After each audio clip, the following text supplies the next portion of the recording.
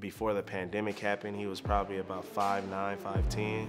Came back 6'5", 6'6". Now, you're a lineman. Also, us training him at receiver made him more of a skilled lineman. I wanted my kids to go to IMG. I got kids going to IMG now. I wanted kids to be able to, you know, be in front of magazines. I had a kid that was in front of Sports Illustrated magazine. They attack their goals, I attack mine.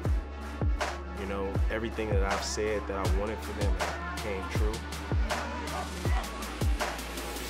I do my part, they do their part. I say that all the time to them. I'm gonna do my part, you do your part, and I can get you there.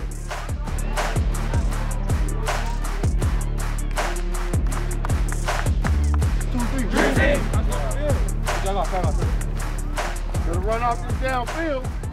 The Laced Facts Dream Team is a 14U team, eighth grade team. We travel around the country and play some of the top teams and just prepare these kids for high school. I think the big thing that makes these kids special is their personalities. These kids are super humble. Uh, they call me, hey Mike, I want to train. You know, I rarely have to reach out to them. We just finished playing the game on Saturday. In Oakland, you know, it was um, a very competitive game. You know, a lot of these kids haven't played last year uh, due to the pandemic. The game got competitive as we start to, you know, open up the score and things escalated. You know, the kids end up getting into it. The goal is not just to win football games, it's to create, you know, great athletes in the future and better young men. After the Oakland, um, I will call it um, scuffle, they were kind of down because they only played two quarters. I feel like going out there and that ended up happening was more so a, um, not a loss, but a lesson for these kids to understand that you know when you're in high school, if this happens, you might not just you know lose a quarter, you might lose your season. Right now, you're at Pop Warner; it's a development year, but if you don't learn from this and your mistakes, high school you might not play. Um, Coach Mike is like a big brother. He puts us through a lot of life challenges and I think he does, he just wants us to be good men, not just good men in football, but good men. Ksani Jiles um, is a player that you can rely on um, offensively uh, for deep balls. Um, and something that you don't talk about well uh, a lot um, is blocking. You know, a lot of receivers catch touchdowns, they run the ball good, but they don't block well. Ksani is a guy that can catch, can run, but blocks phenomenal. And he takes pride in helping his, um, you know, teammates get into the end zone. Before I came to the dream team, I wasn't, I was, I wasn't developed. I just had a raw talent. But when I came to the dream team, they got me more developed. They got me better than I uh, left my old team, and I just became a better overall player because they care for the player rather than just the team. Zach is a is a great football player. You know, mentally he's a strong football player. He's super aggressive. Uh, he plays defensive back. Right now he has about two interceptions, a uh, few touchdowns on offense, but he prides himself on locking dudes down.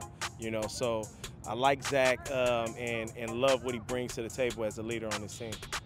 They push me to be like the best athlete I could be. Uh, Pepe is one of our leaders on the line. Uh, he's a big guy at 6'5", uh, 265, two dang near 270. Um, you know, fast football player, but also you know leads on up front. You know, and when you're a football team, you don't need just leaders in the backfield. You need leaders on the line to make sure everybody is uh, physically ready and prepared and in their right gaps and firing off the ball. And he's a guy that brings that to the table on the offense and defense side. This team has uh, helped me um, get better in like every aspect of my game. It's very important to build a community. I mean, like they like they say, you know, it takes a village. You know, and when you have a village and a group of people uh, that all have common interests, you know, anything is possible. And that's what we've been able to create uh, and put together, and we're going to continue to grow and, and you know make the next big time players in the NFL. Five years from now, I can tell you what I did to help them, but as of right now, I'm in the process. I have an end goal for everybody.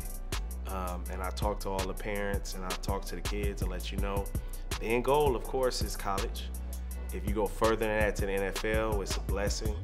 Um, of course, nobody can predict if a kid can go, but we can prepare them for opportunity to go. So the fact that we've been um, to college and we've been away from our parents and families, we know what comes with that.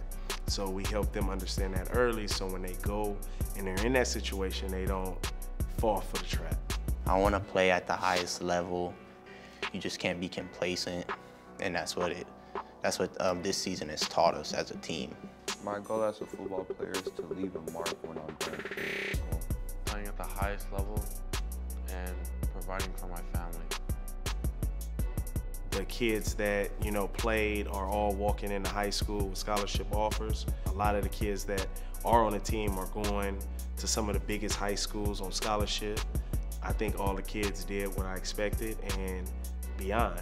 My goal for next season is to start as a freshman, be productive on the field while playing against varsity players.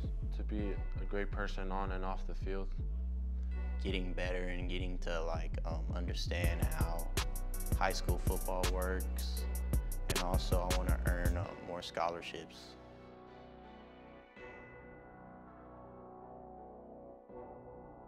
Um, I think the biggest person that grew this year was uh, Pepe. The year that we played before the pandemic happened, he was probably about 5'9", 5'10", came back 6'5", 6'6". Now he has to play the line. You know, it's funny, I used to tell him like, like what position you want to play? I want to play receiver. And I'm like, okay, you're not the same kid at 12, you know, now you're a lineman, you know, so him understanding that and understanding that playing this position is gonna open up more doors for him, benefited him, but also us training him at receiver made him more of a skilled lineman, you know, because you don't see linemen that, you know, can play um, receiver if they wanted to and, you know, play both sides of the ball and they can actually run, you know. Um, he's definitely somebody special and seeing him move from a traditional skill to you know, a lineman this year for the first time, it was something that I, and they feel like, oh man, I don't want to change my position. I kind of like go through the past drafts and say, well, this lineman was your size right now, you're an eighth grader, and he was your size and he went first round. Let me try to find a receiver that's 6'5", 6'6", 270. Can't find one, you know? So those are different things that I try to show and I say, okay, receivers run these type of times. You run this time, okay, well, linemen run this time. Okay, you're faster than a lot of linemen that are in the NFL right now. So it puts him in a situation where you're like, okay, I have the advantage.